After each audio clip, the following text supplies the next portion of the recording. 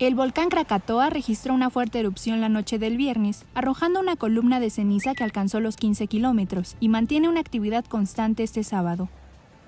La explosión del monte Anak Krakatau, en Lampung, al suroeste de Indonesia, provocó un fuerte estruendo que se escuchó a 150 kilómetros de distancia hasta Yakarta, la capital. El Krakatoa, que comenzó a entrar en erupción el viernes a las 22.35 hora local, siguió lanzando cenizas hasta la madrugada del sábado, informó la Agencia Nacional de Mitigación de Desastres de Indonesia, de acuerdo con la agencia Antara.